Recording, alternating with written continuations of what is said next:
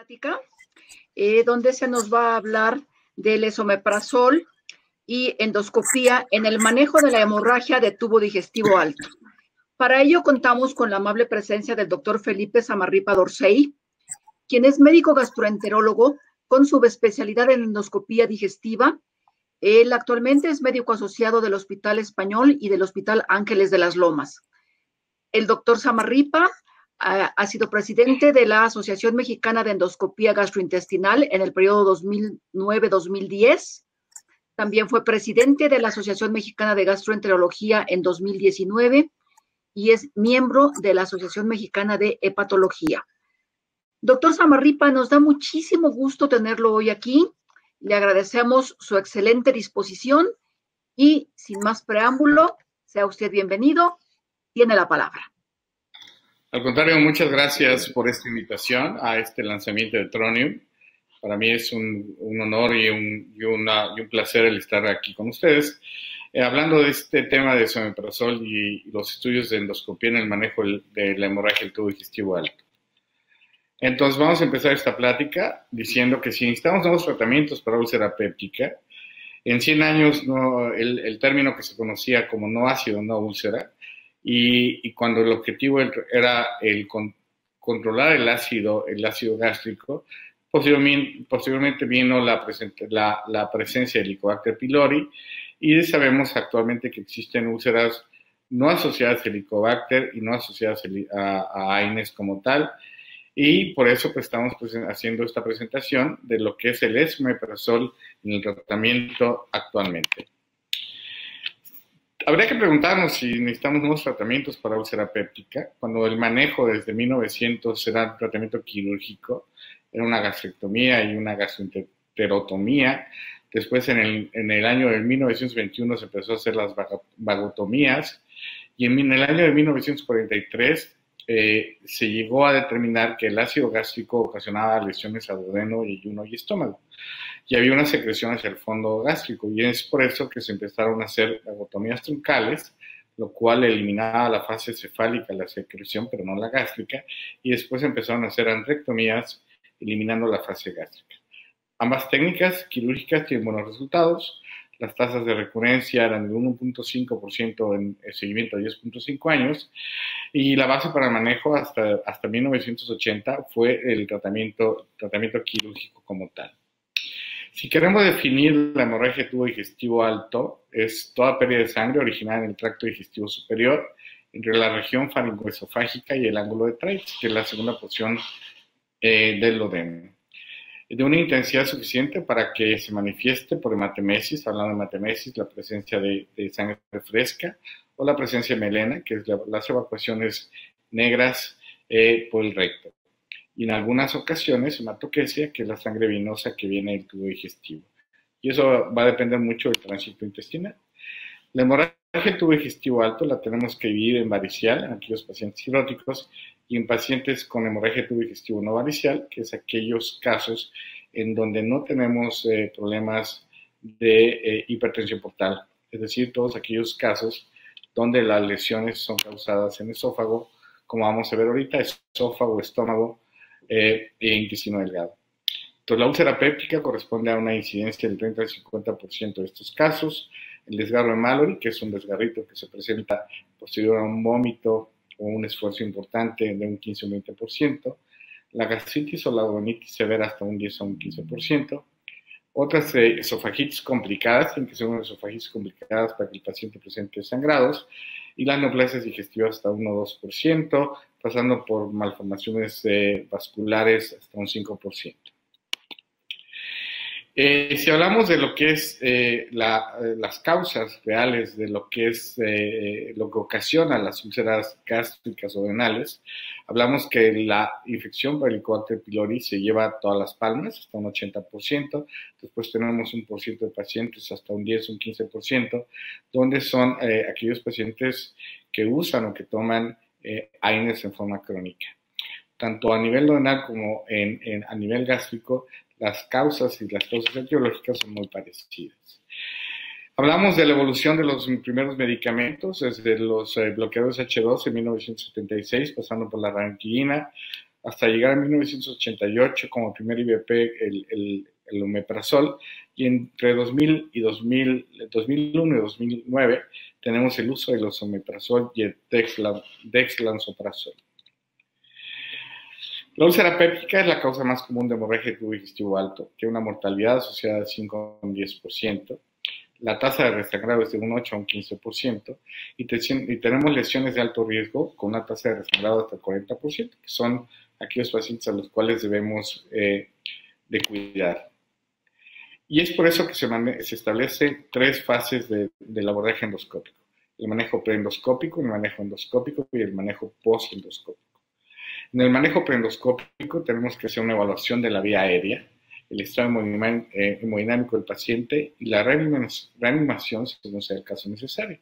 Hay que hacer una reposición del volumen con cristaloides o coloides, hay que hacer una transfusión sanguínea si así lo, indica si indican las condiciones del paciente, intentando llevar al paciente a una hemoglobina entre 7 a 8 gramos por decilitro.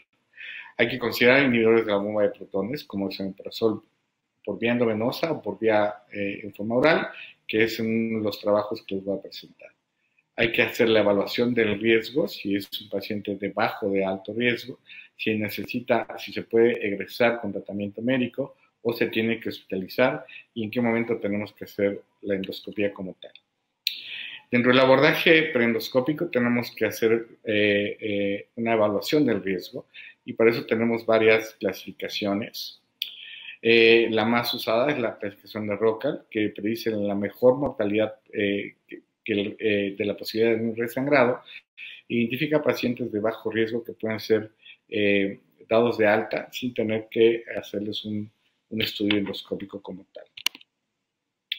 Y tenemos el abordaje eh, preendoscópico, que también tenemos la clasificación de Blackford, que eh, mide 23 puntos y identifica a los pacientes con riesgo de resangrado o que son eh, aquellos pacientes que van a tener una intervención, ya sea una terapia endoscópica, quirúrgica, eh, transfusión y también la posibilidad de que si un paciente puede llegar a tener con altos, altos índices de, de Blackford o, una alta calificación en la escala de Blackford, la posibilidad de morir. ¿Cuándo realizar el estudio endoscópico? Se debe, eh, previa estabilización hemodinámica, eh, se debe considerar si se hace en las primeras 24 horas, si, hace, si se hace lo que llamamos una endoscopía temprana entre las, entre las 2 y las 24 horas, o una endoscopía urgente en las primeras 12 horas, y todo va a tener, todo va a depender de las escalas con las que contemos y las condiciones propias del paciente. Si el paciente está hipotenso, si está taquicárdico, o si tiene otras como comorbilidades, como puede ser paciente con cirrosis endoscópica. Dentro del manejo endoscópico, el diagnóstico es hasta el 95% en la localización del sitio de la hemorragia, eh, tiene un efecto pronóstico, puede predecir la persistencia o recurrencia de, la hemorragia. La enorme ventaja de, de, los estudios endoscópicos es que nos permite la hemostasia y, tiene una, y es un procedimiento bastante seguro, tiene una movilidad del 0.1% y 50% cuando tenemos padecimientos cardiopulmonares. Nosotros utilizamos, todos los endoscopistas utilizamos o casi todos los endoscopistas utilizamos la clasificación de Forres y lo clasificamos desde Forres 1A hasta Forres 3.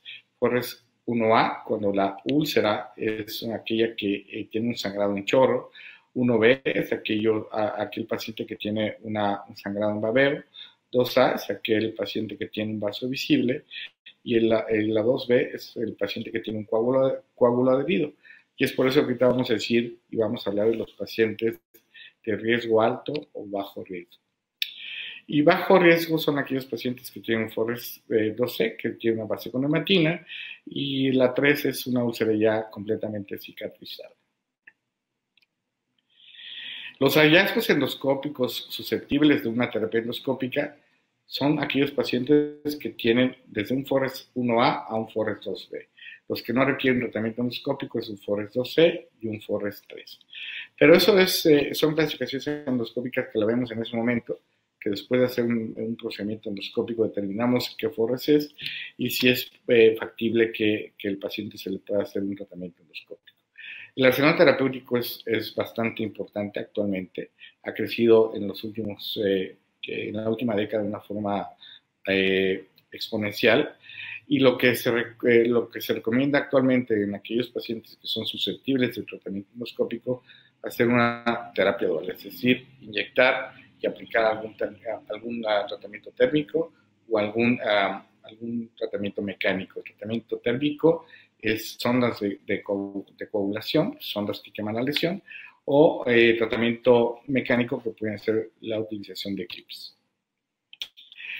Cuando tenemos, una, cuando tenemos un riesgo de falla de, de, un procedimiento endoscópico, cuando hay una úlcera previa, cuando el paciente ya, ya ha chocado, cuando tenemos una FORES 1A o 1B, cuando la úlcera es arriba de 2 centímetros, cuando tenemos un vaso visible eh, mayor a 2 milímetros y cuando tenemos localizaciones bastante complejas para, para atacarlas por vía endoscópica, que puede ser en la localización de la curvatura menor o en la, eh, o en la pared posterior del bulbo La verdad es que es bastante complejo atacar una úlcera con un vaso visible en la, en la pared posterior del bulbo La tasa de complicaciones después del tratamiento endoscópico es muy baja.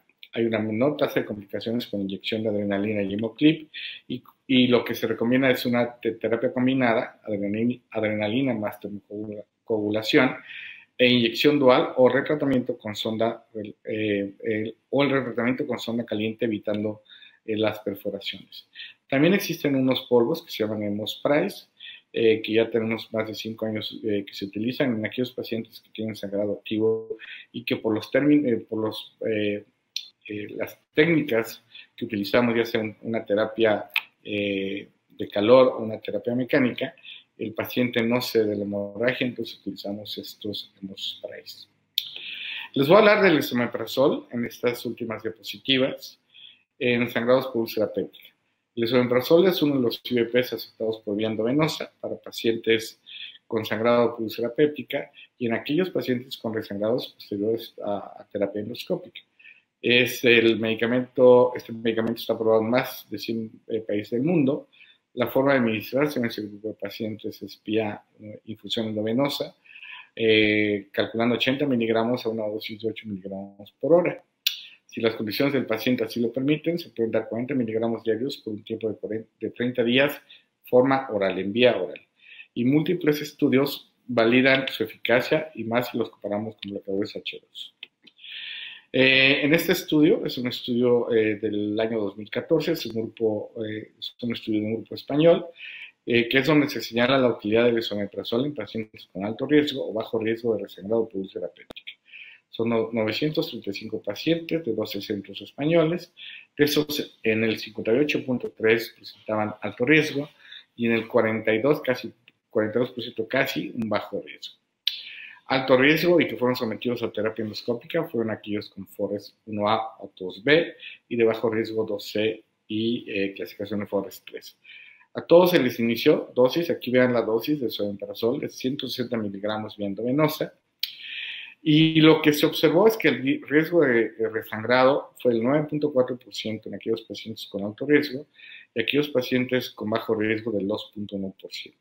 Solamente los pacientes de este grupo de pacientes fueron sometidos a cirugía en el 3.5% y en el 2.8% de alto o de bajo riesgo respectivamente, hablando que, que fueron eh, seguidos a 30 días. Tanto la cirugía, los procedimientos quirúrgicos como la mortalidad se mide a 30 días. La mortalidad fue muy similar, sin riesgos, eh, no, hay una eh, no hay una P significativa en, relación a, la mortalidad, ya que algunos pacientes tenían algunos, algunas otras enfermedades, y entonces eh, se calculó esta mortalidad siendo parámetros muy similares. En pacientes con alto riesgo tiene una mayor posibilidad de resagrado, pero no hay impacto en la mortalidad, y todo paciente con eh, úlceras, pépticas, úlceras pépticas se deberá iniciar con IVPs por vía endovenosa o en eh, este estudio, eh, presentado en el año 2014 en el American Journal of Gastroenterology, eh, habla de algo que es muy importante. O sea, eh, compara las altas dosis de IVPs por vía endovenosa o por forma oral en pacientes con hemorragia por úlcera péptica sometidos previamente a una terapia endoscópica. Este estudio de un solo centro, aleatorizado, doble ciego, que compara 80 miligramos endovenosa versus placebo o esomeprazol de 40 miligramos vía oral cada 12 horas versus placebo. Se hace un seguimiento a 30 días analizando el resangrado en estos pacientes y lo que eh, se observó es que los grupos fueron muy similares, tanto, eh, tanto los, el grupo de los 118 pacientes del grupo a los cuales se les aplicó esomeprazol por vía venosa o 132 eh, pacientes del grupo a los cuales se les inició esomeprazol por vía oral. Entonces, eh, muy importante, señora, que los grupos fueron muy similares de acuerdo a la clasificación de, de Forrest y los resultados nos dicen que no existe diferencia en resangrado, 7.7 versus 6.4, ni en tiempo de estancia hospitalaria, que es uno de los parámetros que tenemos que, medir. ¿Qué nos dice este estudio? Este estudio es muy claro, que nos, donde nos dice, ok, si el paciente se permite la vía oral, iníciale vía oral y no le inicies eh, esomeprazol viendo venosa y los resultados van a ser muy similares. Estos estudios eh, los conocemos desde hace tiempo y sabemos que podemos iniciar el esomeprazol por vía oral. En estos tiempos, en estos días donde eh, el COVID es lo actual, donde estamos viviendo este problema eh, tan importante de salud mundial y donde los estudios endoscópicos están muy limitados, y están muy limitados por la posibilidad de, tener infección, de infectarnos los propios endoscopistas o los trabajadores de la salud, y eh, diciendo y comentando que pues, evidentemente nos estamos enfrentando a uno de los mayores retos en la historia de la medicina. Existen síntomas digestivos como la náusea, vómito, alteraciones del gusto y diarrea, y también afectaciones al hígado como una respuesta sistémica a la enfermedad. Pero también estos pacientes tienen alteraciones en la coagulación y la posibilidad de úlceras digestivas. Les presento este estudio que, pues, bueno, que lo estudiaron los, los italianos, lo hicieron los italianos en Milán, que son seis pacientes con hemorragia digestiva sin descompensación hemodinámica. Se, se obvió la endoscopía por el riesgo de, de, de, de, ser infectados y se inició una infusión endovenosa con esomeprazol por 48 a 72 horas. El resultado fue una resolución de la hemorragia de tubo digestivo sin necesidad de algún estudio endoscópico. Evidentemente, el COVID, tenemos eh, eh, a los endoscopistas y a los gastroenterólogos nos ofrece una, un, reto muy importante. Tenemos que hacer estudios endoscópicos. Si el paciente presenta una hemorragia digestiva, solamente eh, si, está, si es un paciente de alto riesgo, si está en riesgo la vida del paciente. Entonces, con, todo con todos los cuidados necesarios, pues haremos el estudio endoscópico. Yo eh, los dejo con esta última eh, reflexión, o sea, no hacer estudios endoscópicos actuales, a menos que sean realmente necesarios. Así tengan hemorragia o no tengan hemorragia actuales. Muy bien, muchas gracias. Muchas gracias a usted, doctor. Qué interesante eh, esta información, sobre todo al final porque bueno, pues nos ubica en lo que estamos viviendo y, aparte de todo lo que nos explicó de manera tan clara, tan precisa, creo que, todos quienes nos están acompañando a lo largo de este evento eh, estarán de acuerdo en, lo mucho que se ha aprendido esta tarde. Están llegándonos preguntas, doctor, y, y, le voy a, como hemos hecho con los anteriores ponentes, he tomado las tres primeras para que sea usted tan amable de contestarlas al aire, recordándoles a nuestra audiencia que el doctor va a permanecer todavía en el chat para que ustedes puedan enviar sus preguntas aclarando que son para él. En este momento pasamos a las preguntas que le haré en vivo o al aire, como prefieran mencionarlo. Doctor, desde Puebla nos preguntan, si comparamos otros medicamentos versus los inhibidores de la bomba de protones, ¿cuál es el resultado? Ya hay múltiples estudios, doctora, en, cuando se compara la, la la ranitina versus omeprazol, y la verdad es que no hay, no hay forma de... Eh, ya se perdió la, el video. Pero lo estamos escuchando, doctor. Podemos continuar. Lo estamos escuchando fuerte y claro. Recuerden, por favor, que estamos en vivo y estas cosas suelen suceder que la tecnología nos traicione. Pero lo estamos escuchando bien, doctor, por favor.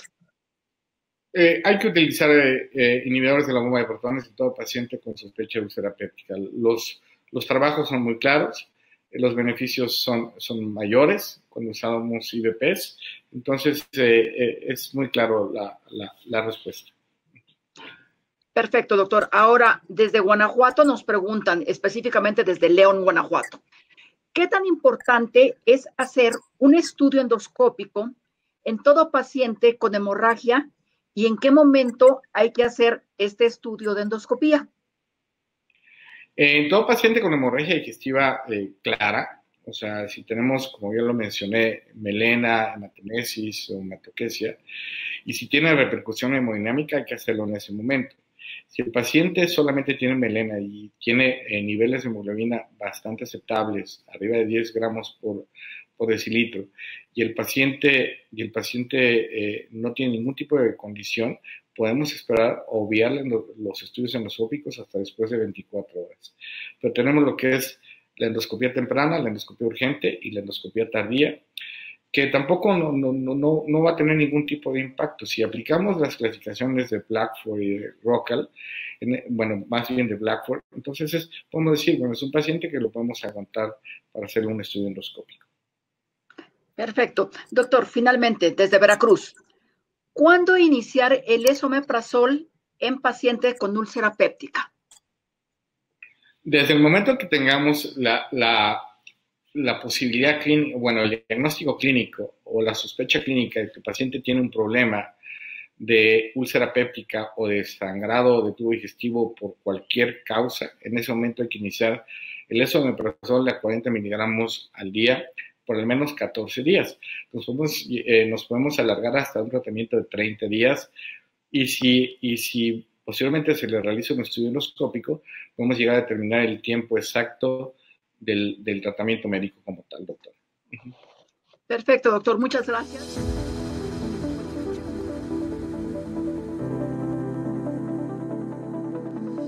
En Leomont nos guía la virtud. Está en nuestra esencia y así lo refleja el nuevo IBP de Leomont. Nuevo Tronium 40, Esomeprazol, virtud en su esencia. El esomeprazol potente, rápido y seguro para el tratamiento de erge, gastritis y úlceras. Esas virtudes se reflejan en beneficios como supresión del ácido gástrico por más tiempo, normalización de la acidez esofágica en más del 93% de los pacientes, superioridad en curación de la esofagitis por reflujo, alto porcentaje de curación de ERGE con o sin Helicobacter pylori. La tecnología y calidad de Liomont se unieron para traernos la virtud de un isómero. Nuevo Tronium 40 ofrece mayor control y menor secreción ácida por más tiempo. Con 14 cápsulas de liberación retardada, Nuevo Tronium 40 es potencia, rapidez y seguridad hecho con todo el respaldo y la calidad Liomont a un precio justo. Nuevo Tronium 40, virtud en su esencia.